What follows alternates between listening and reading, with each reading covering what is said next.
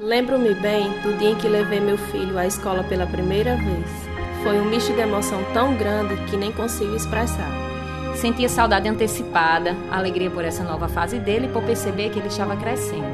Mas, acima de tudo, tranquilidade em saber que tinha escolhido a escola certa para que ele pudesse estudar. Aqui estudei a vida toda. Em todas as partes do instituto, a gente sente aquele toque de mãe. Lembro que na minha época, nós nos divertíamos muito na hora do recreio.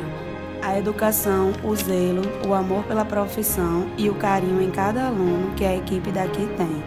Estudei aqui muitos anos e vivenciei momentos incríveis ao lado deles. Aqui é certeza de amor e carinho que só a mãe tem.